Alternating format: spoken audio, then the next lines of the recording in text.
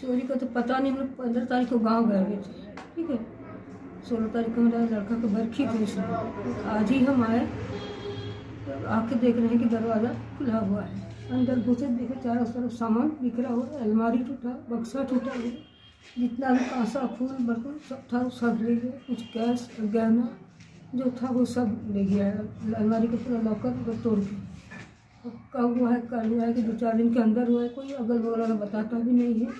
क्या बताएगी? आज- क्या क्या सामान था?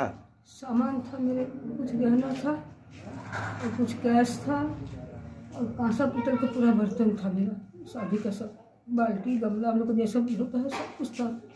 थाली कटोरी गिलास बहुत कुछ था कांसा पीतल लगभग कितना का सामान होगा? सामान हो गया पता है कितना था ये सब गहना मिला के एक डेढ़ लाख। उससे ज़्यादा ही होगा एक डेढ़ लाख का तो गहना ही था मेरा। कंगन था कान का दुजोड़ा था चेन था अंगूठी था। कहाँ गए थे आप गाँव? हम लोग वेस्ट बंगाल बांकुड़ा। कितना तारीख को गए थे? पंद्रह को गए थे। अब कैसे बताएँ हम की जानकारी कि क्या है लेकिन इतना आराम से किया है बहुत देर से ही किया होगा जो भी किया है। ये तो पता चला जब बैठा है सिगरेट पिया है किया है उस टाइम तो ज़रूर लगा होगा उन लोग का। तो भगवान जाने कौन है। तो नहीं बता सक रहे हैं लेकिन जो भी किया है निश्चिंत होकर काम किया है अपना।